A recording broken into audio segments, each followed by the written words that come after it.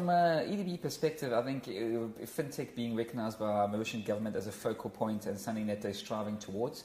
You know, building a fintech island is something new. And I think the EDB took on the ma- massive task of, of, working with something as, as, as new as a regulatory sandbox license or the RSL. Um, so the, the, first kind of fintech firms went through this the sandbox license, if you will, and I think the fact that the EDB went with them along through the journey kind of ensured the smooth running of the process. Um, I think the fact that uh, there's a close collaboration between EDB and the various sectors in the industry or stakeholders in the industry to make sure that fintech is also uh, a line item and an agenda item on many events and activities. Uh, to make sure that we, we are able to, to affect and work very closely and collaborate with various stakeholders of, of achieving the, the Singapore of Africa status when it comes to the fintech space. So from that perspective, it's, it's always great to work with the EDB. It's always great to work with a, a government that's willing to, to push for change and innovative change. You know, fintech is a, is a new industry locally. You know, it's been around for very few years. And I think we're seeing uh, quite a few successes coming through now. You know, Fundkiss, uh, uh, the, the, the most recognizable name in the, in the, locally in the crowd uh, funding space.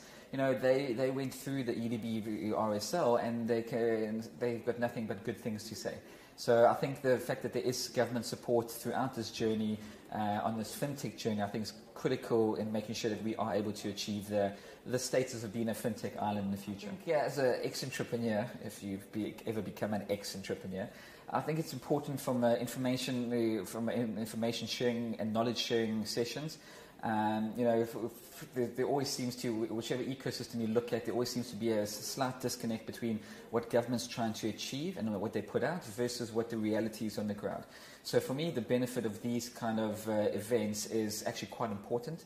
I think you know it, it shortens the bridge between the two kind of uh, sectors or industries, if you will, to make sure that what w- there's not only a strategic alignment, but b also the the knowledge in the ecosystem to know what's available for the entrepreneurs uh, for the technology or fintech entrepreneurs and how do they go about engaging and taking advantage of kind of the incentives or programs that, uh, that the government has put into place.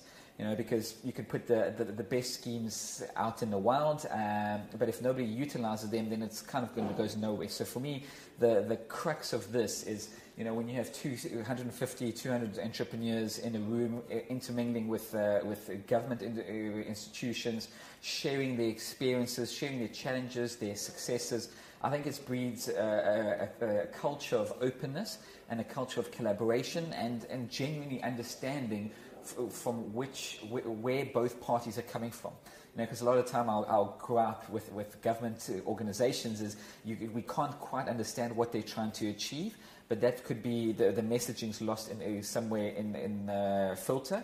But these kind of uh, events help align those expectations and realities, and I think it strengthens the ecosystem collectively as a whole.